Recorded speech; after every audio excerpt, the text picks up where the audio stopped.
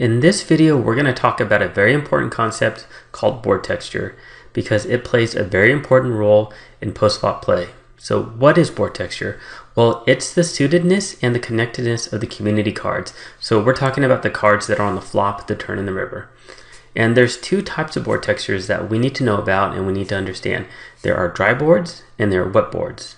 So what is a dry board? A dry board is where the flop of the three cards that come down on the board, that's the community cards, that's when the flop is very unconnected and it's multi-suited, meaning there's multiple suits on the board, such as one card's a diamond, one's a club, and one's a spade. And the main point behind it, it's when there are very little draws that can hit their turn on the river. On the flip side, there are wet boards. And the wet board is exactly opposite. So wet board is when the flop is very suited very coordinated, and very connected, where tons of draws can hit easily on the turn of the river. So let's do some examples to really highlight this and show you what I'm talking about. So let's talk about dry boards first. Here's a couple examples. Example one. This is a very dry board. It's probably about as dry as it gets. King of clubs, eight of hearts, two diamonds.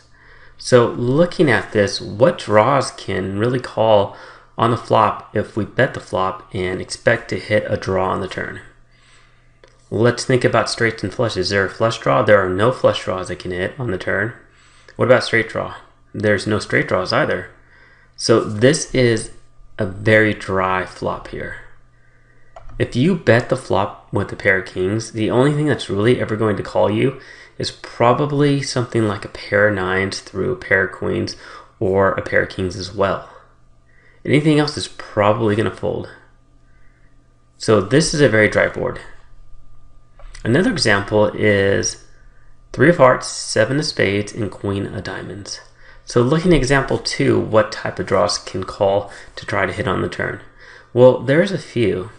There's four, five, five, six, and four, six, and all of them are going for a gut shot straight draw, where each one only has four outs. So with the four, five, they're drawing to four sixes. With the 5 6, they're drawing to four fours, and with the 4 6, they're drawing to four fives. And so they're all only drawing to four outs to hit their made hand, meaning the nut straight on the turn. And with four outs, that's really only about 8% equity. So even with that, it's super dry with the gut shot straight draw. It's really difficult for them to hit their gut shot on the turn. Now, are there any other draws? Well, there's no flush draw and there's really no other straight draw that can hit on the turn. So these are both very dry boards. And when we have a dry board, it plays a huge role in if determining if we should continuation bet and how much we should continuation bet. And we'll talk about that further in this lecture and in our next lecture. So now let's talk about wet boards. So here's an example of a couple really wet boards. We have ace of spades, ten of spades, jack of hearts. Now let's talk about what hands already got there. Queen King already gives you the nut straight. So that already got there if anybody has Queen King. Now let's talk about flush draws. Well, there's numerous flush draws since there's two spades on the board. Anybody that has two spades in their hole cards, that's going to give them flush on the turn of the river. And then there's numerous straight draws. So 8 9 will give you the bottom end of the straight with a queen. Any queen X hand or any king X hand is going to have a gut shot straight draw. And then, of course, ace king as well is going to have the gut shot straight draw. So there's tons of cards that can be behind where potential on the turn they can easily suck out with a board like this because there's a flush draw and there's numerous straight draws. So pretty much, you know, any Broadway card that hits, so queen or king hits on the turn, almost guaranteed somebody hit the straight. And then any spade that hits the turn of the river, it's guaranteed somebody probably hits the flush. Now let's look at pretty much the ultimate of wet boards. Five of hearts, six of hearts, seven of hearts. So three cards that are coordinated in a row and they're all the same suit. This is about as wet as it gets. And if you flop something like top set on a board like this, it's not that fun of a hand to play at, play in, especially if you're playing multi ways. I've actually had a flop a set of I flopped a set of aces on a board texture like this, but it was all the same suit, and I ended up folding by the river.